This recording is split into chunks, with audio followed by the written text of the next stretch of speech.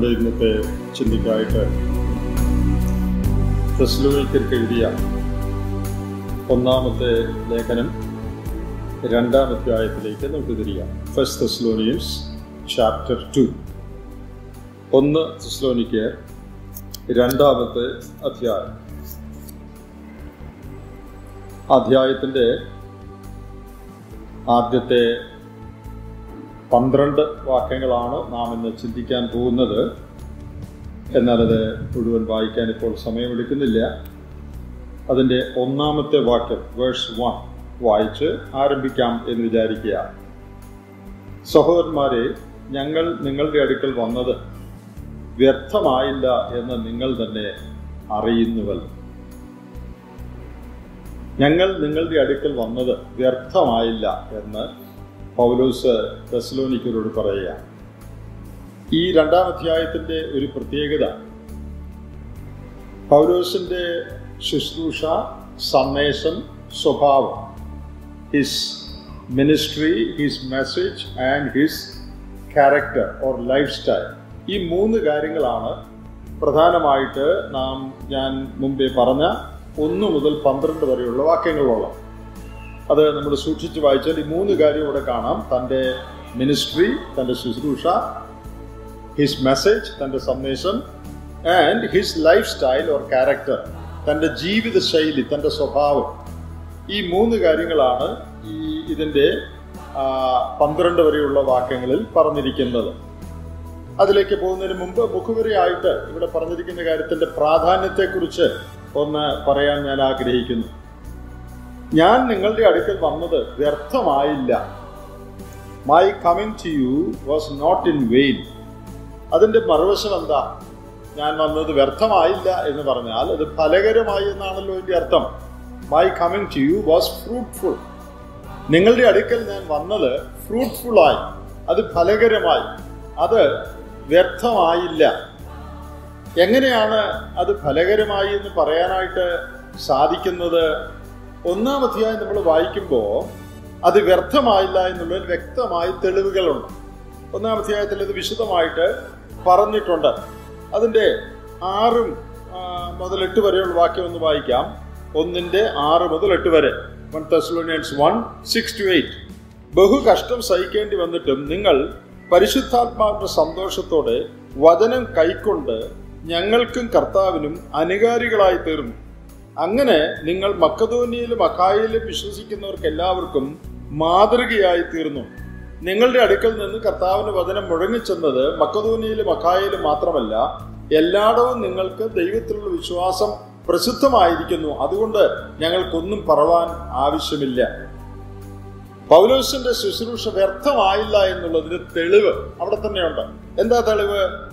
ബഹു കഷ്ടം സഹിക്കേണ്ടി വന്നിട്ടും സന്തോഷത്തോടെ അവർ വചനം കൈക്കൊണ്ടു. പൗലോസ് പറഞ്ഞ കാര്യങ്ങൾ അവർ സന്തോഷത്തോടെ കൈക്കൊണ്ടു. They receive the word gladly രണ്ടാമത് ഞങ്ങൾ വചനം കൈക്കൊണ്ട് ഞങ്ങൾക്കും കർത്താവിനും അനുകാരികളായി തീർന്നു.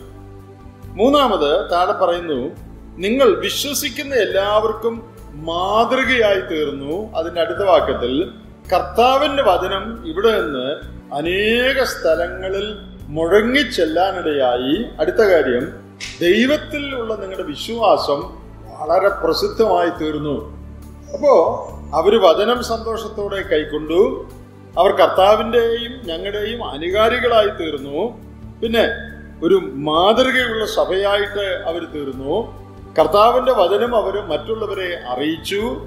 മാത്രമല്ല അവരുടെ ദൈവത്തിലുള്ള വിശ്വാസം പ്രസിദ്ധമായി തീർന്നു. ദേ received the word gladly. They became imitators of the Lord and of us. They became an exemplary church, and the word of God thundered out from among them to other places, and their faith in God was well known. ഇത്രയും കാര്യങ്ങൾ പൗലോസിന്റെ ശുശ്രൂഷ മുഖാന്തരം തെസ്ലോനിക്ക സഭയിൽ സംഭവിച്ചു അപ്പോൾ ഇത് വ്യർത്ഥമായില്ലെന്നുള്ളതിന് ഇനി വേറെ തെളിവൊന്നും വേണ്ട വളരെ ഫ്രൂട്ട്ഫുൾ ആയിട്ടുള്ള ഫലകരമായിട്ടുള്ള ശുശ്രൂഷയാണ് പൗലോസ് അവിടെ ചെയ്തത്. എന്നാൽ നമ്മുടെ വിഷയം ആ ശുശ്രൂഷ എന്നുള്ളതല്ല.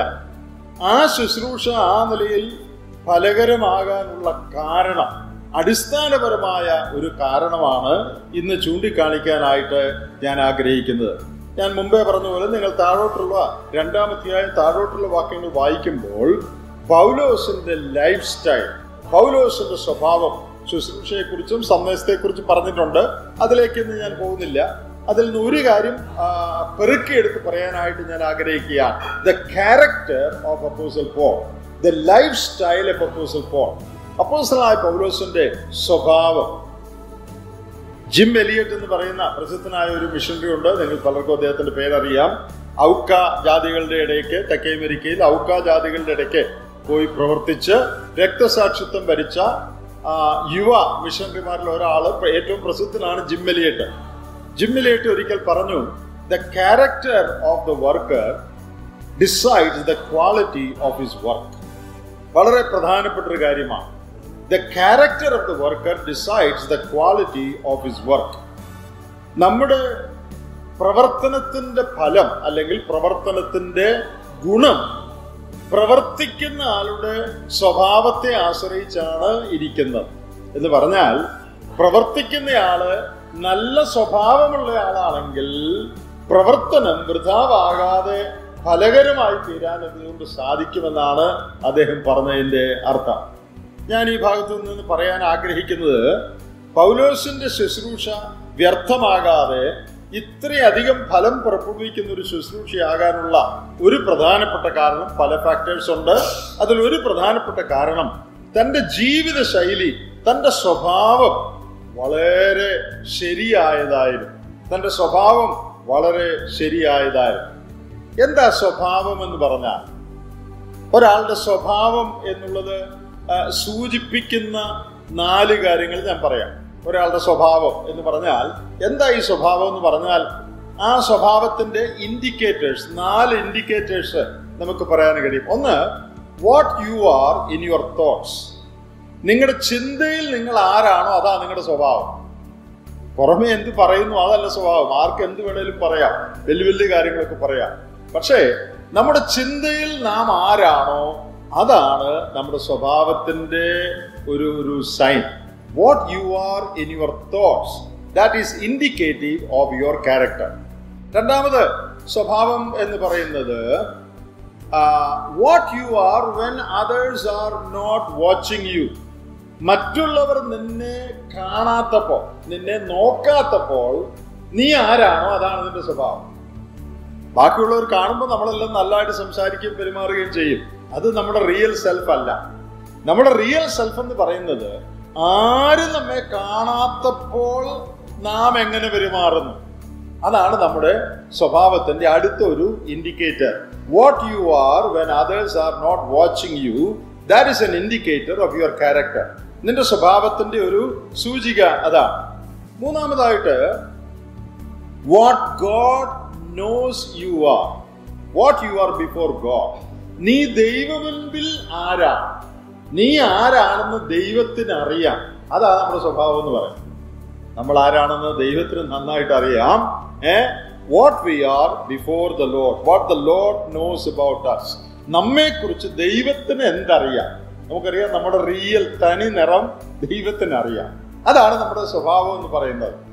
ഒരു കാര്യം കൂടെ what people who watches from close quarters know നമ്മോട് വളരെ അടുത്ത് ഇടപെടുന്നവർക്ക് നമ്മെക്കുറിച്ച് എന്തറിയാം? അതും നമ്മുടെ സ്വഭാവത്തിന്റെ ഒരു ഇൻഡിക്കേറ്ററാണ് മറ്റു മനുഷ്യർക്ക് നമ്മെക്കുറിച്ച് അറിയാവുന്നത് നമ്മുടെ സ്വഭാവത്തിന്റെ ഏറ്റവും നല്ലൊരു ഇൻഡിക്കേറ്ററാണെന്ന് പറയാനൊക്കെയില്ല. ബാക്കിയുള്ളവർക്ക് നമ്മളെക്കുറിച്ച് അറിയാവുന്ന പോലെ ആയിരിക്കണമെന്നില്ല നമ്മൾ എന്നാൽ what people who watches from close quarters know about us. ഏറ്റവും അടുത്ത് നമ്മോട് ഇടപെടുന്ന ഉദാഹരണമായിട്ട് ഭാര്യ ഭർത്താവ് മക്കൾ മാതാപിതാക്കൾ അല്ലെങ്കിൽ സഹപ്രവർത്തകർ കൂടെ എപ്പോഴും നടക്കുന്നവർ അങ്ങനെയുള്ള ആളുകൾ എല്ലാവരും അല്ല വളരെ ക്ലോസ് ക്വാർട്ടേഴ്സിൽ നിന്ന് എന്ന് പറഞ്ഞാൽ അടുത്ത് നിന്ന് നമ്മുടെ ജീവിതത്തെ പരിശോധിക്കുന്ന നമ്മുടെ ജീവിതത്തെ രാവും പകലും കാണുന്ന ആളുകളുണ്ട് നമ്മുടെ വീട്ടിലുള്ളവര് അല്ലെങ്കിൽ നമ്മുടെ നമ്മോട് കൂടെ പ്രവർത്തിക്കുന്നവര് എപ്പോഴും നമ്മളെ കാണുന്നവരാണ് എല്ലാ പരിതസ്ഥിതിയിലും. അവർ നമ്മെക്കുറിച്ച് എന്ത് മനസ്സിലാക്കുന്നു? അതും നമ്മുടെ സ്വഭാവത്തിന്റെ ഒരു ഒരു സൂചന നൽകുന്ന കാര്യമാണ്. അപ്പോൾ സ്വഭാവം എന്ന് പറയുന്നത് ഈ നാല് കാര്യങ്ങൾ സ്വഭാവത്തെ സൂചിപ്പിക്കുന്നതാണ്. നമ്മുടെ ചിന്തയിൽ നാം ആരാണ്? പിന്നെ വേറെ ആരും നമ്മെ കാണാത്തപ്പോൾ നാം എങ്ങനെ ഇരിക്കുന്നു? മൂന്ന് ദൈവം നമ്മെക്കുറിച്ച് എന്തറിയുന്നു? നാല് നമ്മുടെ ഏറ്റവും അടുത്ത് ഇടപെടുന്ന ആളുകൾ നമ്മെ ഏത് നിലയിൽ മനസ്സിലാക്കുന്നു? ഈ നാല് കാര്യങ്ങൾ നമ്മുടെ സ്വഭാവത്തിന്റെ സൂചന നമുക്ക് എന്താണ് സ്വഭാവം എന്നുള്ളതിനെ കുറിച്ച് സൂചന നൽകുന്നതാണ്. അപ്പോൾ നാം പറഞ്ഞു വന്നത് പൗലോസിന്റെ പ്രവർത്തനം വ്യർത്ഥമായില്ല വളരെ ഫലകലമായി തീർന്നു എന്നുള്ളത്. താഴ് ഒന്നാം വാക്യത്തിലാണത് അതിന്റെ താഴോട്ടുള്ള വാക്യങ്ങളിൽ അതിന്റെ അടിസ്ഥാനപരമായ ചില കാരണങ്ങൾ നമുക്ക് കാണാൻ കഴിയും. അത് പൗലോസ് തന്നെ പറയുന്ന കാരണങ്ങളാണ്. പൗലോസിന്റെ ജീവിതം ഫലകരമായിരുന്നു. ഒന്നാം വാക്യത്തിൽ തന്റെ പ്രവർത്തനത്തെക്കുറിച്ച് അത് ഫലകരമായിരുന്നു. താഴോട്ടുള്ള വാക്യങ്ങൾ നാം വായിക്കുമ്പോൾ പൗലോസിന്റെ സ്വഭാവത്തെക്കുറിച്ച് നമുക്ക് അതേ കാര്യം പറയാൻ കഴിയും. അതെന്താ? പൗലോസിന്റെ സ്വഭാവം ഫലം പുറപ്പെടുവിക്കുന്നതായിരുന്നു. ചില ആഴ്ചകൾക്ക് മുമ്പ് ഒന്ന് രണ്ട് മാസം മുമ്പ് ഒന്ന് യോഹന്നാന്റെ ഒന്നാം യോഹന്നാന്റെ സുവിശേഷം. പതിനഞ്ചാം അധ്യായത്തിന്റെ പതിനാറാം വാക്യത്തെക്കുറിച്ച് ഞാനിവിടെ ഒരു പ്രസംഗം ചെയ്തിരുന്നു. നിങ്ങൾ ചിലരോർക്കുമായിരിക്കും ഞാൻ കർത്താവ് പറയാണ് ഞാൻ നിങ്ങൾ നിങ്ങൾ എന്നെ തിരഞ്ഞെടുത്തല്ല ഞാൻ നിങ്ങളെ തിരഞ്ഞെടുത്തു. എന്തിനാ? നിങ്ങൾ പോയി ഫലം കായ്ക്കേണ്ടതിന് നിങ്ങളെ ആക്കി വെച്ചുമിരിക്കുന്നു. അതിനെക്കുറിച്ച് ഞാനിവിടെ ഒരു സന്ദേശം ഞായറാഴ്ച നൽകിയുണ്ടായി ആ സന്ദേശത്തിൽ പറഞ്ഞ ഒരു പ്രധാനപ്പെട്ട കാര്യം ഫലം കായ്ക്കുക എന്ന് പറയുന്നതിൽ രണ്ട് ആശയങ്ങൾ പ്രധാനമായിട്ട് അടങ്ങിയിട്ടുണ്ട്. ജോൺ മക്കാർദർ പറഞ്ഞൊരു കാര്യം കൂട്ടി ഇതാണ് ഞാനത് പറഞ്ഞത്. ഒന്ന് ക്യാരക്ടർ ഫ്രൂട്ട് രണ്ട് ഒന്നാമത്തേത് ആറ്റിറ്റ്യൂഡ് ഫ്രൂട്ട് അല്ലെങ്കിൽ ക്യാരക്ടർ ഫ്രൂട്ട് രണ്ടാമത്തേത് ആക്ഷൻ ഫ്രൂട്ട് ഒന്നാമത്തേത് നമ്മുടെ സ്വഭാവത്തിൽ നാം പുറപ്പെടുവിക്കുന്ന ഫലം. ഗലാത്തർ അഞ്ചിന്റെ ഇരുപത്തിരണ്ട്. ക്രിസ്തുവിൻ സ്വഭാവം നാം എന്തുമാത്രം പുറപ്പെടുവിക്കുന്നു? എ ഡെവലപ്പിംഗ് ക്രിസ്ത്യൻ ക്യാരക്ടർ പുരോഗമനമായ നിലയിൽ ക്രിസ്തുവിന്റെ സ്വഭാവം നമ്മിൽ എന്തുമാത്രം കൂടുതൽ കൂടുതൽ കാണപ്പെടുന്നു. അതാണ് ഫലം എന്ന് പറയുന്നത്. ഗലാത്തർ അഞ്ചിന്റെ ഇരുപത്തിരണ്ട് ആത്മാവിന്റെ ഫലം എന്ന് പറയുന്നത് നമ്മിൽ പരിശുദ്ധാത്മാവ് നാം പരിശുദ്ധാത്മാവിന് കീഴ്പ്പെടുമ്പോൾ ഉളവാക്കുന്ന ക്രിസ്തുവിൻ സ്വഭാവമാണ്. അപ്പോൾ നാം ഫലം പുറപ്പെടുവിക്കാനാണ് കർത്താവ് നമ്മെ തെരഞ്ഞെടുത്തത്. എന്ന് പറഞ്ഞാൽ എന്താ? രക്ഷിക്കപ്പെട്ട എല്ലാവരും നാളുകൾ കഴിയുന്തോറും കർത്താവിന്റെ മഹത്വം അവരുടെ സ്വഭാവത്തിൽ കൂടുതൽ കൂടുതൽ വെളിപ്പെടുത്തി ജീവിക്കണം. അതിനാണ് എല്ലാവരെയും കർത്താവ് രക്ഷിച്ചിരിക്കുന്നത്. നിങ്ങളുടെ എന്റെ ജീവിതത്തിൽ അത് സാധിക്കുന്നുണ്ടോ എന്നുള്ളത് ഗൗരവമായിട്ട് പരിശോധിക്കണം. കാരണം നമ്മെ തെരഞ്ഞെടുത്ത് തന്നെ അതിനു വേണ്ടിയാണ്. കർത്താവിന്റെ സ്വഭാവം നമ്മിൽ വെളിപ്പെടണം. പിന്നെ ഫലം എന്നുള്ളതിന് വേറൊരു ആശയങ്ങളുണ്ട് നമ്മുടെ പ്രവൃത്തികൾ കൊണ്ട് ഉണ്ടാകുന്നതായ ഫലം. റോമാലേഖനത്തിൽ നിന്നൊരു വാക്യം ഒന്ന് വായിച്ചിരുന്നു. നിങ്ങളുടെ ഇടയിൽ വല്ല ഫലവും ഉണ്ടാകേണ്ടതിന് ഞാൻ ആഗ്രഹിക്കുന്നുവെന്ന് പൗലോസ് പറയുന്ന ഒരു വാക്യം നാം അന്ന് വായിച്ചായിരുന്നു. പ്രവൃത്തികളുടെ ഫലം. ഇന്ന സ്ഥലത്ത് പ്രവർത്തിച്ചിട്ട് അവിടെ വളരെ ഫലമുണ്ടായി. ടെസ്ലോനിക്കേണ്ട കാര്യം പറഞ്ഞ പോലെ പൗലോസ് അവിടെ പ്രവർത്തിച്ചു ഫലമുണ്ടായി. അപ്പൊ രണ്ടു തരത്തിലാണ് ഫലത്തെക്കുറിച്ച് പുതിയ നിയമം പഠിപ്പിക്കുന്നത്. ഒന്ന് നമ്മുടെ സ്വഭാവം എന്ന ക്രിസ്തുവിൻ സ്വഭാവം എന്ന ഫലം. രണ്ട് നമ്മുടെ പ്രവർത്തനത്തിന്റെ റിസൾട്ട് എന്നുള്ള ഫലം. പ്രവർത്തനത്തിന്റെ ഫലം. ഈ രണ്ട് കാര്യവും പൗലോസിനെ സംബന്ധിച്ച് ദൈവം പൗലോസിനെ തെരഞ്ഞെടുത്തതിൽ നിറവേറി വളരെ നന്നായി നിറവേറി എന്നാണ് നാം ഈ ഭാഗത്തു നിന്ന് മനസ്സിലാക്കുന്നത്. നമ്മൾ താഴോട്ട് ഇനി പറയാൻ പോകുന്ന കാര്യങ്ങൾ തന്റെ സ്വഭാവത്തിന്റെ ഫലമാണ് തന്റെ ക്യാരക്ടറിലുള്ള ഫലമാണ്. രണ്ടാമത് നമ്മൾ ആദ്യത്തെ വാക്യം വായിച്ചത് തന്റെ ശുശ്രൂഷ ഫ്രൂട്ട്ഫുൾ ആയിരുന്നു അത് ഫലമണിയുന്നതായിരുന്നു എന്നുള്ളതാണ്. The best sermon is a holy life എന്ന് പറയാറുണ്ട്. ഒരു ശരിയായ ജീവിതം വിശുദ്ധ ജീവിതമാണ് ഏറ്റവും നല്ല പ്രസംഗം. സാക്ഷ്യമുള്ള ശുദ്ധിയുള്ള ഒരു ജീവിതമാണ് ഏറ്റവും നല്ല പ്രസംഗം. The primary ministry of a Christian is the ministry of character ഒരു വിശ്വാസിയുടെ പ്രഥമമായ ശുശ്രൂഷ എന്ന് പറയുന്നത് സ്വഭാവത്തിന്റെ ശുശ്രൂഷയാണ് അല്ലെങ്കിൽ സ്വഭാവത്തിൽ കൂടെയുള്ള ശുശ്രൂഷയാണ്. The primary ministry of a Christian is the ministry of character നമ്മുടെ സ്വഭാവത്തിൽ കൂടെ ഉള്ള സ്വഭാവത്തിന്റെ ശുശ്രൂഷയാണ് നമ്മുടെ ഏറ്റവും വലിയ ശുശ്രൂഷ. What we are is more important than what we say നാം എന്തായിരിക്കുന്നു എന്നുള്ളത് നാം എന്ത് പറയുന്നു എന്നുള്ളതിനേക്കാൾ വളരെ പ്രധാനപ്പെട്ട ഒരു കാര്യമാണ്. ഒരു ദേവിദാസൻ പറഞ്ഞിട്ടുണ്ട് ഒരു വിശ്വാസിക്ക് ഒരാൾക്ക് ഒരു ബിസിനസ് നടത്താൻ മൂലധനം വേണ്ടിയതുപോലെ ഏതൊരു വിശ്വാസിക്കും തന്റെ ക്രിസ്തീയ ജീവിതവും ശുശ്രൂഷയും കെട്ടിപ്പണിയുവാൻ വേണ്ട മൂലധനമാണ് അവന്റെ സ്വഭാവം. A Christian's character is his capital മൂലധനം എന്ന് പറയുന്നത് ക്യാപിറ്റലാണ് ഒരാൾക്ക് ബിസിനസ് തുടങ്ങണമെങ്കിൽ ആദ്യം എന്ത് വേണം? അതിക്ക് ക്യാപിറ്റൽ വേണം. ഇൻവെസ്റ്റ് ചെയ്യാനായിട്ട് മൂലധനം വേണം. മൂലധനം ഇല്ലെങ്കിൽ ബിസിനസ് പൊട്ടിപ്പോവും. വെറുതെ ബിസിനസ് തുടങ്ങിയാൽ ബിസിനസ് പെട്ടുപോകും ക്രിസ്തീയ ജീവിതത്തിന്റെ മൂലധനം എന്ന് പറയുന്ന നമ്മുടെ സ്വഭാവമാണ്. A Christian's character is his capital മൂലധനം ഇല്ലെങ്കിൽ ബിസിനസ് പൊട്ടുന്ന പോലെ നമ്മുടെ സ്വഭാവം ശരിയല്ലെങ്കിൽ നമ്മുടെ ക്രിസ്തീയ ജീവിതവും ശുശ്രൂഷയും പൊട്ടിപ്പോകും. ഞാൻ ചിന്തിക്കുകയായിരുന്നു നമ്മിൽ നിന്ന് ദൈവം ഏറ്റവും പ്രതീക്ഷിക്കുന്നതും നാം ഏറ്റവും കുറവ് ദൈവത്തിന് കാഴ്ചവെക്കുന്നതുമായ സ്വഭ- കാര്യമാണ് ക്യാരക്ടർ എന്നുള്ളത്. ദൈവം നമ്മിൽ ഓരോരുത്തരിൽ നിന്നും ഏറ്റവും പ്രതീക്ഷിക്കുന്നത് നമ്മുടെ പ്രവർത്തനമല്ല നമ്മുടെ പണമല്ല നമ്മുടെ അധ്വാനമല്ല. അതെല്ലാം വേണമെന്നുള്ളത് ശരിയാണ്. എന്നാൽ ദൈവം നമ്മിൽ നിന്ന് പ്രതീക്ഷിക്കുന്ന ഏറ്റവും വലിയ കാര്യം ക്രിസ്തുവിന് അനുരൂപമായ സ്വഭാവം നാൾക്ക് നാൾ നമ്മിൽ വളർന്നു വരണം. ദൈവം ഏറ്റവും പ്രതീക്ഷിക്കുന്ന അതാണ്. പക്ഷേ നാം ഏറ്റവും അധികം കൊടുക്കുന്നതും അല്ലെങ്കിൽ നാം ഏറ്റവും അധികം കാണിക്കുന്നതും അതാണ്. ദൈവം ഏറ്റവും അധികം ആഗ്രഹിക്കുന്നതാണ് നമ്മൾ ഏറ്റവും കുറവ് കാണിക്കുന്നത്. അത് വളരെ ദുഃഖകരമായ ഒരു കാര്യമാണ്. എന്നാൽ പൗലോസിന്റെ ജീവിതം നമ്മെ പഠിപ്പിക്കുന്ന ഒരു കാര്യം ദൈവം തന്നെ രക്ഷിച്ച് തെരഞ്ഞെടുത്ത് ആക്കി വെച്ച ആ രണ്ട് കാര്യങ്ങളും പൗലോസിന്റെ ജീവിതത്തിൽ പെർഫെക്റ്റ് എന്ന് പറയാനൊക്കെ ഇല്ല പരിപൂർണനെന്ന് പറയാനൊക്കെ ഇല്ല എന്നാൽ വളരെ നല്ല നിലയിൽ കാണപ്പെട്ടു. തന്റെ വ്യക്തിപരമായ സ്വഭാവം എന്ന ഫലം തന്റെ പ്രവർത്തനത്തിന്റെ ഫലം. നമുക്ക് ഇനി ആ കാര്യങ്ങളിലേക്ക് ഒന്ന് താഴോട്ട് ഒന്ന് നോക്കാം. ഈ ഒന്നാം വാക്യത്തിൽ തന്നെ എന്ന് നിങ്ങൾ അറിയുന്നുവല്ലോ എന്ന് ഒരു പ്രയോഗ പ്രയോഗമുണ്ട്. നിങ്ങൾ അറിയുന്നുവല്ലോ യു നോ ഈ ഒന്നാം അധ്യായത്തിന്റെ രണ്ടിന്റെ ഒന്നിലാണെന്ന് പറയുന്നത് ഒന്നാം അധ്യായത്തിന്റെ അഞ്ചാം വാക്യത്തിന്റെ ഒടുവിൽ ഞങ്ങൾ നിങ്ങളുടെ ഇടയിൽ എങ്ങനെ പെരുമാറിയിരുന്നുവെന്ന് അറിയുന്നുവല്ലോ. ഞങ്ങൾ നിങ്ങളുടെ ഇടയിൽ എങ്ങനെ പെരുമാറിയിരുന്നു എന്ന് അറിയുന്നുവല്ലോ. ഈ അറിയുന്നു എന്നുള്ള പ്രയോഗം ഈ തെസ്ലോണിക്ക ലേഖനത്തിൽ ഒന്നാം ഒന്ന് തെസ്ലോണിക്കരിൽ ഒമ്പത് പ്രാവശ്യം വരുന്നുണ്ട്.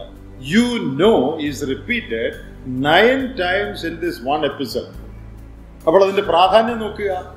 ഒൻപത് പ്രാവശ്യം പൗലോസ് ഈ ലേഖനത്തിൽ പറയുന്നുണ്ട് നിങ്ങൾക്കറിയാം നിങ്ങൾ അറിയുന്നുവല്ലോ. നിങ്ങൾ കേട്ടല്ലോ എന്നല്ല ഏ? നിങ്ങൾ കേട്ടിട്ടുണ്ടല്ലോ എന്നല്ല നിങ്ങൾക്കറിയാം. അവിടെ എങ്ങനെ നിങ്ങളുടെ ഇടയിൽ പെരുമാറിയിരുന്നുവെന്ന് നിങ്ങൾക്കറിയാം. ഞാൻ മുമ്പേ സ്വഭാവത്തിന്റെ ഇൻഡിക്കേറ്റേഴ്സ് സ്വഭാവത്തിന്റെ സൂചനകൾ പറഞ്ഞപ്പോ നാലാമത് പറഞ്ഞൊരു കാര്യം ഏറ്റവും അടുത്ത് ഇടപെടുന്നവർക്ക് നമ്മെക്കുറിച്ച് അറിയാവുന്നതാണ് നമ്മുടെ സ്വഭാവം എന്ന് പറഞ്ഞു. അതാണ് ഇവിടെ പൗലോസ് പറയുന്നത്. നിങ്ങളുടെ ഇടയിൽ എങ്ങനെ ഞാൻ പെരുമാറി അത് നിങ്ങൾക്കറിയാം. അവർക്ക് എങ്ങനെ അറിയാം?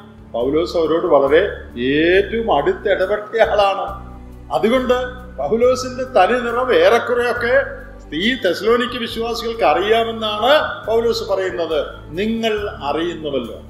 അടുത്ത് ഇടപെടുന്നവർ നമ്മെക്കുറിച്ച് മനസ്സിലാക്കുന്നത് നമ്മുടെ സ്വഭാവത്തിന്റെ ഒരു സൂചനയാണ്. പൗലോസിന്റെ ജീവിതത്തിൽ ഏറ്റവും പ്രശംസനീയമായ ഒരു കാര്യം അതാണ് താൻ ഇങ്ങനെ പ്രസംഗിച്ച് വലിയ വേലയൊക്കെ ചെയ്ത് നടക്കുമ്പോൾ ആളുകൾക്ക് തന്നെക്കുറിച്ച് ഉണ്ടായിരുന്ന ധാരണയല്ല. ആ ധാരണ നമുക്കെല്ലാം ക്രിയേറ്റ് ചെയ്യാം. നമ്മൾ ഒത്തിരി യാത്ര ചെയ്യുകയും പ്രസംഗിക്കുകയും ഒത്തിരി കാര്യങ്ങൾ ഏർപ്പെടുകയും ചെയ്യുമ്പോൾ ജനത്തിന് ദൈവജനത്തിനൊക്കെ നമ്മെക്കുറിച്ച് നല്ല ഒരു ആത്മീയനാണ് നല്ല പ്രസംഗനാണ് വലിയ ആളാണെന്നൊക്കെ ധാരണ ഉണ്ടാവും. ആ ധാരണ ഒട്ടും ശരിയാകണമെന്നില്ല. പൗലോസ് പറയുന്ന അങ്ങനത്തെ ധാരണയുടെ കാര്യമല്ല. നിങ്ങൾ അറിയുന്നുവല്ലോ എന്ന് പറയുമ്പോൾ എന്നോട് കൂടെ ഇടപെട്ട് സഞ്ചരിച്ച് എന്നോടുള്ള ഇന്ററാക്ഷനിൽ നിങ്ങൾ മനസ്സിലാക്കിയിരിക്കുന്നുവല്ലോ എന്നാണ് അർത്ഥം. ഞാൻ ഇതേ ആശയത്തോട് ഏറ്റവും ചേർന്ന് പോകുന്ന വേറെ ഒരു വാക്യം ഒന്ന് വായിച്ചു കേൾപ്പിക്കട്ടെ. രണ്ട് തെമത്യോസ് മൂന്നാമധ്യായത്തിന്റെ പത്താമത്തെ വാക്യം. ഇത് പണ്ട് വളരെ നാളുകൾക്ക് മുമ്പ് ഞാൻ ഈ കാര്യം ഇവിടെ പറഞ്ഞിട്ടുണ്ട്. അത് നിങ്ങൾ മറന്നുപോയി കാണും. എന്നാൽ ഒന്നുകൂടെ പറയാം. രണ്ട് തെമത്യോസ് മൂന്നാം അധ്യായത്തിന്റെ പത്താമത്തെ വാക്യത്തിൽ അന്ത്യകാലത്തിന്റെ പത്ത് പതിനെട്ട് മൂന്നാം അധ്യായത്തിൽ അന്ത്യകാലത്തിന്റെ അന്ത്യകാലത്തെ മനുഷ്യർക്ക് പത്ത് പതിനെട്ട് സ്വഭാവം പൗലോസ് പറഞ്ഞിട്ടുണ്ട്. അത് പറഞ്ഞു കഴിഞ്ഞിട്ട് തന്റെ സ്വഭാവത്തെക്കുറിച്ച് പൗലോസ് പറയുന്നത് ശ്രദ്ധിക്കുക. അന്ത്യകാലത്ത് മനുഷ്യർ എങ്ങനെയുള്ളവരായിരിക്കും? ദുരുപദേശക്കാരുടെ സ്വഭാവം എങ്ങനെയായിരിക്കും? മനുഷ്യരുടെ സ്വഭാവം എങ്ങനെയായിരിക്കും? ഇതൊക്കെ പറഞ്ഞു കഴിഞ്ഞിട്ട് അതിന്റെ പത്താം വാക്യത്തിൽ നീയോ ഇത്രയും നേരം പറഞ്ഞതിൽ നിന്ന് നേരെ വ്യത്യസ്തമായി വിരുദ്ധമായി നീയോ തിമോത്യോസിനോട് പറയാണ് എന്റെ ഉപദേശം എന്റെ നടപ്പ് എന്റെ ഉദ്ദേശം എന്റെ വിശ്വാസം എന്റെ ദീർഘക്ഷമ എന്റെ സ്നേഹം എന്റെ സഹിഷ്ണുത എന്നിവയും അന്ത്യോക്കയിലും ഇക്കോന്യയിലും ലുസ്ത്രയിലും എനിക്ക് സംഭവിച്ച ഉപദ്രവവും കഷ്ടാനുഭവവും കണ്ടറിഞ്ഞിരിക്കുന്നു. നമ്മുടെ തർജമയിലൊക്കെ എന്റെ എന്റെ എന്ന് ആവർത്തിച്ചിട്ടില്ല പക്ഷെ അങ്ങനെ ആവർത്തിക്കേണ്ടതാണ്. മൂലഭാഷയിലെ ക്രമ അതിൽ നിന്ന് മനസ്സിലാക്കുന്നതനുസരിച്ച് ഓരോ വാക്കിന്റെ കൂടെ എന്റെ എന്ന് പറയേണ്ടതാണ്. എന്റെ നടപ്പ് എന്റെ സ്നേഹം എന്റെ സഹിഷ്ണുത. പോലീസ് പറയാണ് ഇത് നീ കണ്ടറിഞ്ഞിരിക്കുന്നു. അവിടെ കണ്ടറിഞ്ഞിരിക്കുന്നു എന്ന് പറയുന്നത് ടെസ്ലോനിക്ക ലേഖനത്തിൽ നിങ്ങൾ അറിയുന്നുവല്ലോ എന്ന് പറയുന്ന പദമല്ല. ടെസ്ലോനിക്ക ലേഖനത്തിൽ അറിയുന്നുവല്ലോ എന്ന് പറയുന്നത് സാധാരണ ഒരു പദമാണ്. എന്നാൽ ഈ തിമോത്യോസ് ലേഖനത്തിൽ കണ്ടറിഞ്ഞിരിക്കുന്നു എന്നുള്ള പദത്തിന്റെ അർത്ഥം ഏ you have known by watching me from close quarters നീ സൂക്ഷ്മമായി പരിശോധിച്ചിട്ട് മനസ്സിലാക്കിയിരിക്കുന്നു എന്നാണ് ആ വാക്കിന്റെ അർത്ഥം. ആ ആ വാക്ക് അതുപോലെ ചെയ്തിരിക്കുന്ന വേറൊരു വാക്യം നമുക്ക് വായിക്കാം. അതായത് ഇപ്പൊ നമ്മൾ വായിക്കാൻ പോകുന്നത് രണ്ട് തിമോത്യോസ് മൂന്നിന്റെ പതിനൊന്നിൽ പതിനൊന്നിൽ കണ്ടറിഞ്ഞിരിക്കുന്നു എന്ന് ഉപയോഗിച്ചിരിക്കുന്ന ആ വാക്ക് തന്നെ പുതിയ നിയമത്തിൽ വന്നിരിക്കുന്ന വേറൊരു ഭാഗം വായിക്കാം. ലൂക്കോസ് വിശേഷം ഒന്നാം അധ്യായം. അതിന്റെ മൂന്നാം വാക്യം. ലൂക്കോസ് ഒന്നിന്റെ മൂന്ന്. നിനക്ക് ഉപദേശം ലഭിച്ചിരിക്കുന്ന വാർത്തയുടെ നിശ്ചയം നീ അറിയേണ്ടതിന് അത് ക്രമമായി എഴുതുന്നത് നന്നെന്ന് ആദ്യം മുതൽ സകലവും സൂക്ഷ്മമായി പരിശോധിച്ചിട്ട് എനിക്ക് തോന്നിയിരിക്കുന്നു.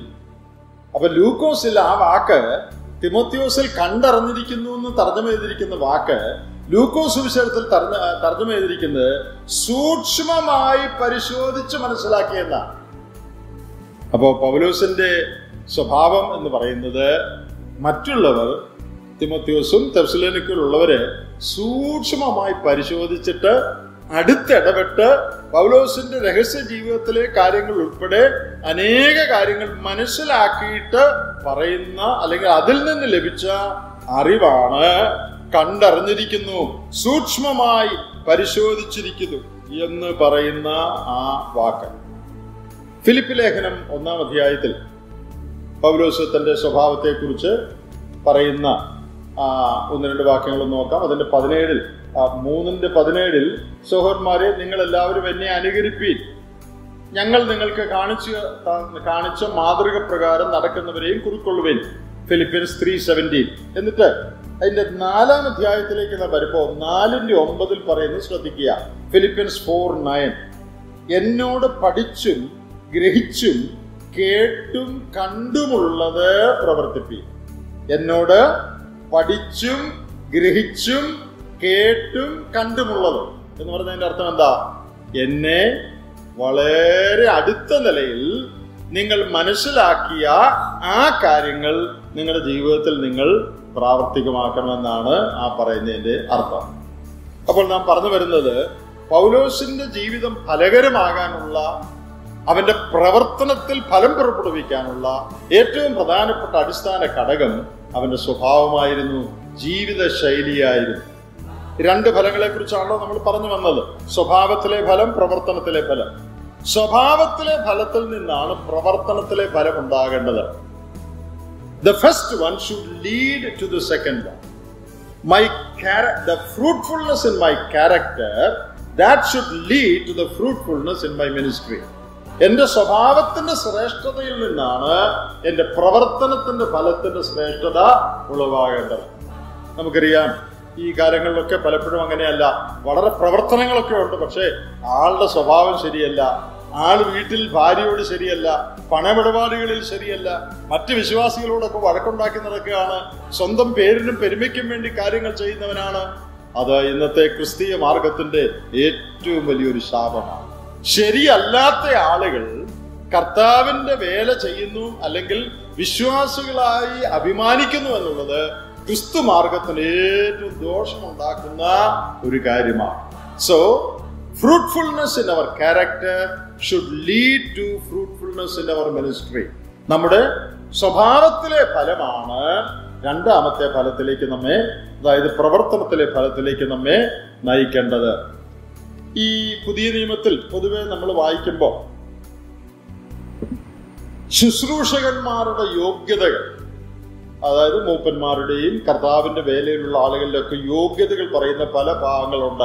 മൂപ്പന്മാരുടെ യോഗ്യതകളെ കുറിച്ച് നമുക്ക് എല്ലാവർക്കും അറിയാം. തീത്തോസ് ലേഖനത്തിലും തിമത്യോസ് ലേഖനത്തിലും നിങ്ങൾ ഇപ്പൊ നമ്മൾ നോക്കുന്നില്ല. എല്ലാവർക്കും അറിയാവുന്നതാണ് ഏകദേശം പതിനെട്ട് പത്തൊൻപത് കാര്യങ്ങൾ ഈ രണ്ട് ലേഖനത്തിലേ കൂടെ ചേർത്താൽ ഏകദേശം പതിനെട്ടോ പത്തൊൻപതോ ക്വാളിഫിക്കേഷൻസ് പറയുന്നുണ്ട്. നിങ്ങൾ അത് ഓരോന്നും ഒന്ന് വായിച്ചു നോക്കണം. വായിച്ചു നോക്കിയാൽ ഒരു കാര്യം മനസ്സിലാവും. എന്ത് മനസ്സിലാകുമെന്ന് അറിയാമോ? ഈ പതിനെട്ട് പത്തൊൻപത് സ്വഭാവ യോഗ്യതകളിൽ മൂന്നോ നാലോ ഒഴിച്ച് ബാക്കി എല്ലാ യോഗ്യതകളും സ്വഭാവത്തിന്റെ യോഗ്യതകളാണ്. അത് ശ്രദ്ധിച്ചിട്ടുണ്ടോ? സഭയെ നയിക്കുന്നവർ അല്ലെങ്കിൽ നമുക്ക് പൊതുവിൽ പറഞ്ഞാൽ കേവലം മൂപ്പന്മാർ മാത്രമല്ല ക്രിസ്തീയ ശുശ്രൂഷയിലൊക്കെ ഉള്ള ആളുകൾ.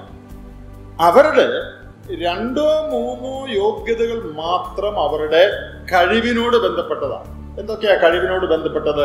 ആപ് ടു ടീച്ച് പഠിപ്പിക്കാൻ സമർത്ഥരായിരിക്കണം. പിന്നെ റൂളിംഗ് വെൽ നന്നായി ഭരിക്കുന്നവരായിരിക്കണം. അങ്ങനെയുള്ള രണ്ട് മൂന്ന് കാര്യങ്ങൾ അവരുടെ കഴിവിനോട് ബന്ധപ്പെട്ടതാണ്. ബാക്കി എല്ലാ യോഗ്യതയും അപ്പൊ നമുക്ക് ഇങ്ങനെ പറയാം. നൂറിൽ ഒരു തൊണ്ണൂറ്റെട്ട് ശതമാനം യോഗ്യതകളും സ്വഭാവത്തോട് ബന്ധപ്പെട്ടതാണ്. ഏകഭാര്യയുടെ ഭർത്താവായിരിക്കണം. അനന്യനായിരിക്കണം സുശീലനായിരിക്കണം വഴക്കുണ്ടാക്കത്തവനായിരിക്കണം ഏ മദ്യമനാകരുത് അതിഥിപ്രിയനായിരിക്കണം എല്ലാവരോടും നന്നായി ഇടപെടുന്നവനായിരിക്കണം. അതെന്താ അത്? അത് സ്വഭാവമാണ് കഴിവ് വേണം കഴിവ് വേണ്ടെന്നല്ല. ക്രിസ്തീയ ശുശ്രൂഷകൾ ചെയ്യുവാൻ സഭയെ ഭരിക്കുവാൻ കഴിവ് വേണം. ദൈവം കൊടുക്കുന്ന കഴിവും കൃപാവരണവും പ്രാപ്തിയും സ്കിൽഫുൾനെസ്സും വേണം. പക്ഷേ തിരുവഴുത്ത് നാം വായിക്കുമ്പോൾ നാം കാണുന്നൊരു കാര്യം ഈ കഴിവിനേക്കാൾ വളരെ ഊന്നിയാണ് സ്വഭാവത്തെ പറഞ്ഞിരിക്കുന്നത്. നമുക്കറിയാം ഇന്ന് മിക്ക സ്ഥലങ്ങളിലും അങ്ങനല്ല. ക്രിസ്തീയ മാർഗങ്ങളിലൊക്കെ ആൾ ഏബിളാണോ. നന്നായിട്ട് പ്രസംഗിക്കാൻ അറിയാമോ? അഡ്മിനിസ്ട്രേറ്റീവ് കപ്പാസിറ്റി ഉണ്ടോ? പഠിത്തമുണ്ടോ? പണമുണ്ടോ? അതൊക്കെയാണ് ക്രിസ്തീയ നേതൃത്വത്തിനുള്ള യോഗ്യത. ആളുടെ സ്വഭാവം എങ്ങനെയുണ്ടെന്നുള്ളത് പ്രധാനമല്ല. പൊതുവെ ക്രിസ്തീയ മാർഗത്തിൽ. വേദപുസ്തകത്തിന്റെ എംഫസിസ് അതല്ല. പഴയ നിയമത്തിലെ ഏറ്റവും വലിയൊരു ക്രിസ്തീയ ദൈവജനത്തിന്റെ ലീഡറായിരുന്നു ദാവീദ് എന്ന് നമുക്കറിയാം. പഴയ നിയമത്തിലെ ഏറ്റവും വലിയൊരു ലീഡറായിരുന്നു ദാവീദ്. ദാവീദിന്റെ സ്വഭാവ ദാവീദിന്റെ ക്വാളിഫിക്കേഷനെ കുറിച്ച് എഴുപത്തിയെട്ടാം സങ്കീർത്തനം എഴുപത്തിരണ്ടാം വാക്യത്തിൽ പറഞ്ഞിട്ടുണ്ട്. Psalm seventy eight verse seventy two ദാവീദിന്റെ ജനത്തെ നടത്തുവാനുണ്ടായിരുന്ന ക്വാളിഫിക്കേഷൻ നമുക്കറിയാവുന്ന ഒരു വാക്യമാണ്. അവിടെ എഴുതിയിരിക്കുന്നത് അവൻ he led the people with integrity of heart and skilfulness of hand അവൻ ഹൃദയ പരമാർത്ഥതയോടെയും കൈമിടുക്കോടെയും ഇസ്രയേലിനെ നടത്തി. അപ്പൊ അവിടെയും ആ ക്രമം കണ്ടോ? എന്താ ഒന്നാമത്? ഹൃദയ പരമാർത്ഥത ജീവിതം ശരിയായിരിക്കണം സ്വഭാവം ശരിയായിരിക്കണം പിന്നെ കഴിവ് വേണ്ടേ? വേണം. അതാണ് രണ്ടാമത് പറഞ്ഞിരിക്കുന്നത്. സ്കിൽഫുൾനെസ് ഓഫ് ഹാൻഡ് ഇനി നാം ഈ മൂപ്പന്മാരുടെ യോഗ്യത എന്നുള്ള നിലയ്ക്ക് തിമോത്യോസിലും തീത്തോസിലും പറഞ്ഞ അല്ലാതെ വേറെ പലയിടങ്ങളിൽ പൗരോസ് തിമോത്യോസിന് കൊടുക്കുന്ന നിർദ്ദേശങ്ങൾ അതിപ്പോൾ ഞാൻ വായിച്ചു പറയുന്നില്ല.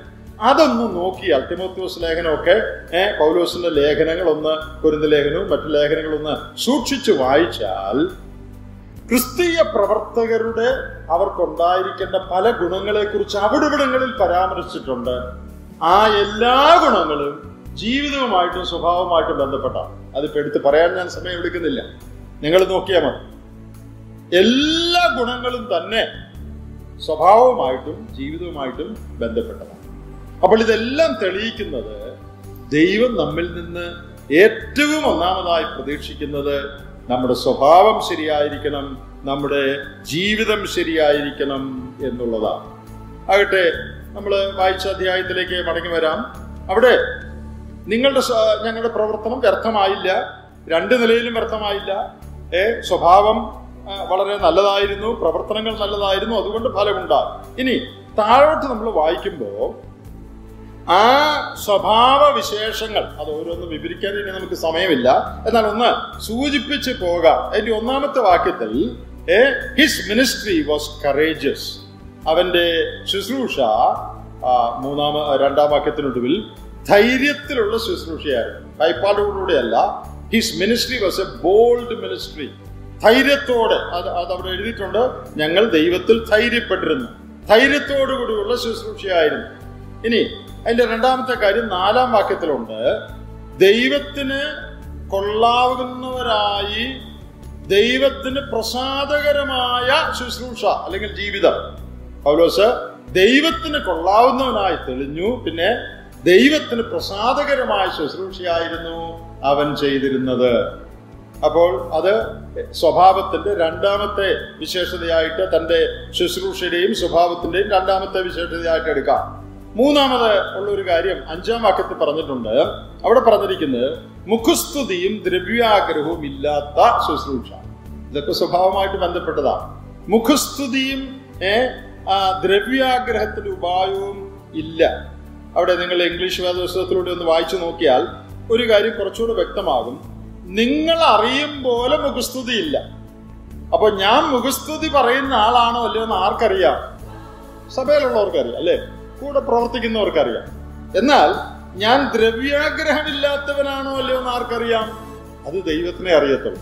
കുറച്ചൊക്കെ സഭയിലുള്ളവർക്ക് അറിയായിരിക്കും. അപ്പോൾ അത് രണ്ടും തിരിച്ചാണ് പൗലൂസ് പറഞ്ഞിരിക്കുന്നത്.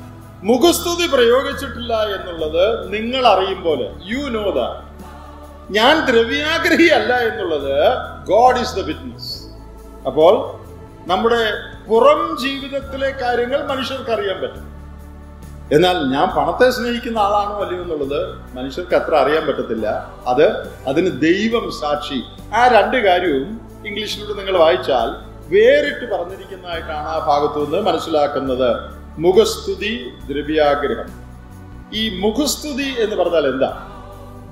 മുഖസ്തുതി ഫ്ലാറ്ററി എന്നാണ് ഇംഗ്ലീഷ് പറയുന്നത്. പിന്നെ മുഖസ്തുതിയുണ്ട് പ്രശംസയുമുണ്ട് പ്രൈസ് അല്ലെങ്കിൽ അപ്രീസിയേഷൻ ഇത് രണ്ടു തമ്മിലുള്ള ഒരു ചെറിയ വ്യത്യാസമുണ്ട് അപ്രീസിയേഷൻ എന്ന് പറയുന്നത് പ്രശംസ. ഇപ്പൊ ഒരാൾ പ്രസംഗിച്ച നല്ല പ്രസംഗമായിരുന്നു. അല്ലെ പാട്ട് പാടി ബ്രദറിന്റെ പാട്ട് നല്ലതായിരുന്നു എനിക്ക് വളരെ അനുഗ്രഹമായിരുന്നു. അങ്ങനെ പറയാമോ? അത് മുഖസ്തുതിയല്ല അത് പ്രശംസയാണ്. അത് പറയുന്നതിന് കുഴപ്പമില്ല. എന്താ ഇത് വ്യത്യാസം? ഇത് വ്യത്യാസം ഒന്ന് സിൻസിയർ ആണ് മറ്റേത് ഇൻസിൻസിയർ ആണ്. പ്രശംസ എന്ന് പറയുന്നത് ആത്മാർത്ഥമായിട്ടുള്ളതാണ് വചനം കേട്ടപ്പോൾ എന്റെ ഹൃദയത്തിൽ സ്പർശിച്ചു. ആത്മാർത്ഥയെന്ന് ഞാൻ പറയാം. എന്നോട് സംസാരിച്ചു. നല്ല പ്രസംഗമായിരുന്നു കേട്ടോ. അത് ആത്മാർത്ഥ എന്ന് പറയാം. എന്നാൽ മുഖസ്തുതി എന്ന് പറയുന്നത് ആത്മാർത്ഥ എന്നല്ല. ഏ? അത് ചുമ്മാ പറയുന്നു. ഉള്ളിൽ തട്ടി പറയുന്ന രണ്ടാമതൊരു വ്യത്യാസം പ്രശംസ എന്ന് പറയുന്നത് ദുഷ്ടലാക്കില്ലാതെ പറയുന്ന നിങ്ങളുടെ പ്രസംഗം നല്ലതായിരുന്നു എന്ന് പറയുന്നത് അതുകൊണ്ട് എനിക്കൊന്നും സാധിക്കാൻ പറയുന്നതല്ല. ഏ? എനിക്ക് പിന്നീട് ഈ ബ്രദറിനെ കൊണ്ടൊരു കാര്യം സാധിക്കാനുള്ളത് അതുകൊണ്ട് ഇപ്പോഴേ ഒന്ന് നല്ലതായിരുന്നു എന്നൊക്കെ പറഞ്ഞു വെച്ചാൽ പിന്നെ പറയുമ്പോൾ അത് എനിക്ക് സഹായമാകും. അതാ ദുരുദ്ദേശം. പ്രശംസ എന്ന് പറയുന്നതിൽ ഒരു ദുരുദ്ദേശമില്ല നല്ലതായിരുന്നു എന്ന് പറയുന്നതിൽ വേറെ ഒരു ഉദ്ദേശമില്ല എന്നാൽ മുഖസ്തുതിയുടെ രണ്ടാമത്തെ കുഴപ്പം അത് ദുരുദ്ദേശത്തോടുകൂടിയുള്ള ഒരാളെ കുറിച്ച് മുഖസ്തുതി പറയുന്നത് ഇത് ആത്മാർത്ഥതയില്ലെന്ന് മാത്രമല്ല എനിക്കിതിൽ വേറെ ചില ലക്ഷ്യങ്ങളുണ്ട്. ഇയാളെ ഇപ്പോഴേ പ്ലീസ് ചെയ്ത് നിർത്തിയാൽ പിന്നീട് ഇയാളെ കൊണ്ട് എനിക്ക് ചില കാര്യം സാധിക്കാനുണ്ട് അതാണ് മുഖസ്തുതിയും പ്രശംസയും തമ്മിലുള്ള വ്യത്യാസം. ആട്ടെ പൗലോസ് പറയുകയാണ് മുഖസ്തുതി ഇല്ല പിന്നെ ദ്രവ്യാഗ്രഹം ഇല്ല. അടുത്തത് നാലാമത്തെ കാര്യം ആറാമത്തെ വാക്യത്തിലുണ്ട് മനുഷ്യന്റെ മാനം അന്വേഷിച്ചില്ല. അത് വിശദീകരിക്കുന്നില്ല. അത് പറഞ്ഞു പോകുന്നേ ഉള്ളൂ. മാനം അന്വേഷിച്ചില്ല. അഞ്ചാമത്തേത് അതിന്റെ ഏഴാമത്തെ വാക്യത്തിലുണ്ട്. അമ്മയുടെ ആർദ്രതയോടുകൂടെ. എട്ടാം വാക്യം പറയുന്നത് ഓമനിച്ചുകൊണ്ട് എന്നാണ് ഇനി താഴോട്ട് വരുമ്പോൾ പന്ത്രണ്ടാം വാക്യത്തിൽ അപ്പനെ പോലെ എന്ന് പറയുന്നുണ്ട്. അപ്പൊ രണ്ടുകൂടെ നമുക്ക് ചേർത്ത് പറയാം. പൗലോസിന്റെ സ്വഭാവത്തിന് പ്രത്യേകത അമ്മയെപ്പോലെ ആർദ്രതയോടെ ഓമനിച്ചുകൊണ്ട് പെരുമാറി അപ്പനെ പോലെ കരുതലോടെ പെരുമാറി. അപ്പനാണ് കരുതുന്നയാൾ ഏ? കൗൺസിൽ കൊടുക്കുന്നയാൾ നിർദ്ദേശങ്ങൾ കൊടുക്കുന്നയാൾ. അമ്മയാണ് സ്നേഹം കാണിക്കുന്നയാൾ ആർദ്രത കാണിക്കുന്നയാൾ ഓമനത്വം കാണിക്കുന്ന ആൾ ഇത് രണ്ടും പൗരോസ് ചെയ്തെന്നാണ് പറയുന്നത്. അമ്മയെപ്പോലെ ഓമനിക്കുകയും ആർദ്രത കാണിക്കുകയും ചെയ്തു. പിന്നെ അപ്പനെ പോലെ കരുതി എന്നാണ് നമ്മൾ വായിക്കുന്നത്. അപ്പൊ അവിടെ നമുക്ക് കാണാൻ കഴിയുന്ന ഒരു സ്വഭാവം കമ്പാഷനേറ്റ് ആ എട്ടാം വാക്യത്തിൽ ഓമനിച്ചുകൊണ്ടെന്ന് പറഞ്ഞതിന് താഴെ ഒരു കാര്യം കൂടെ പറഞ്ഞിട്ടുണ്ട്. പ്രാണനും കൂടെ വെച്ച് തരുവാൻ ഒരുക്കമായിരുന്നു. അതിനെ നമുക്ക് എന്ത് പറയാം? ത്യാഗപൂർണമായ സ്നേഹം സാക്രിഫിഷ്യൽ അപ്പോൾ അഞ്ചാമത്തെ ഗുണമായിട്ട് പറയാ പറയാവുന്നത് he was compassionate and he was sacrificial താൻ ആർദ്രതയുള്ളവനായിരുന്നു. പിന്നെ ത്യാഗ മനോഭാവം ഉള്ളവനായിരുന്നു. ആറാമത്തെ കാര്യം ഒമ്പതാമത്തെ വാക്യത്തിലുണ്ട്. ഏ അത് പല കാര്യങ്ങൾ പറഞ്ഞിട്ടുണ്ട് വിശദീകരിക്കുന്നില്ല. കഠിന പ്രയത്നം. His ministry was a ministry of hard labour കഠിനമായി പ്രവർത്തിക്കുന്ന ഒരു ശുശ്രൂഷ കഠിനാധ്വാനം ചെയ്യുന്ന ശുശ്രൂഷയായിരുന്നു. ഇനി ഏഴാമത്തെ കാര്യം പത്താമത്തെ വാക്യത്തിൽ പറയുന്നുണ്ട്. നിങ്ങളുടെ ഇടയിൽ പവിത്രമായും നീതിയായും അനന്യമായും നടന്നു. നടന്നു എന്ന് പറഞ്ഞാൽ ജീവിച്ചു പെരുമാറി എന്നാണ് അർത്ഥം. എന്നതിന് നിങ്ങളും ദൈവവും സാക്ഷി. അതിന് നിങ്ങളും സാക്ഷിയാണ് ദൈവവും സാക്ഷിയാണ് ഞാൻ വിശുദ്ധമായി ജീവിച്ചു എന്നുള്ളതിന് ദൈവം സാക്ഷിയാണ് പിന്നെ പവിത്രമായും അനന്യമായും നടന്നു എന്നുള്ളതിന് നിങ്ങളും സാക്ഷിയാണ് അപ്പോൾ പവിത്രമായി എന്ന് പറഞ്ഞാൽ വിശുദ്ധമായി എന്നാണ് അർത്ഥം. ഹോളിലി നീതിയായി എന്ന് പറഞ്ഞാൽ എന്റെ ഇടപാടുകളെല്ലാം പുറമേയുള്ള എല്ലാ ഇടപാടുകളും ജസ്റ്റ് ആൻഡ് റൈച്ചസ് അതാണ് ഇതിന്റെ അർത്ഥം. മൂന്നാമത്തെ വാക്ക് അനന്യം എന്ന് പറഞ്ഞാൽ ബ്ലെയിംലെസ് എന്നാണ് അർത്ഥം. മൂപ്പന്മാരുടെ യോഗ്യത പറയുമ്പോൾ ഏ അനന്യനായിരിക്കണം എന്ന് പറയുന്നു. ബ്ലെയിംലെസ് എന്ന് പറഞ്ഞാൽ അതിന്റെ ആശയം no charge of serious wrong sustained against him blameless എന്ന് പറഞ്ഞാൽ സിൻലെസ് അല്ല. അനന്യൻ എന്ന് പറഞ്ഞാൽ പാപരഹിതനല്ല. പിന്നെന്താ?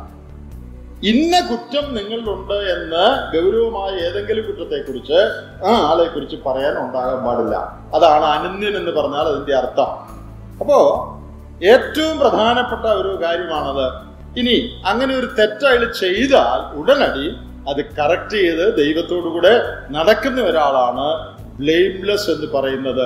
ഇറിപ്രോച്ചബിൾ വിത്ത് അൺ അൺടാർണിഷ് റെപ്യൂട്ടേഷൻ ഒരു കുറ്റവും ആളുകൾക്ക് ചൂണ്ടിക്കാണിച്ച് പറയാനില്ലാതെ വണ്ണം ഉള്ളതായ സാക്ഷ്യം പുലർത്തുന്നയാൾ അതുകൊണ്ട് അയാൾ പരിപൂർണനാണെന്ന് അർത്ഥമില്ല. ദൈവത്തിന്റെ ദൃഷ്ടിയിൽ തന്റെ ജീവിതത്തിൽ ചില കുറവുകളൊക്കെ ഉണ്ടായിരിക്കും മനുഷ്യൻ നിലയ്ക്ക്. എന്നാൽ പൊതുവെ മറ്റുള്ളവർക്ക് തന്നെ ചൂണ്ടി കുറ്റം പറയാനായിട്ട് ഒന്നും ഉണ്ടായിരിക്കാൻ പാടില്ല. പൗലോസ് പറയാണ് നിങ്ങളുടെ ഇടയിൽ പവിത്രമായും നീതിയായും അനന്യമായും നടന്നു.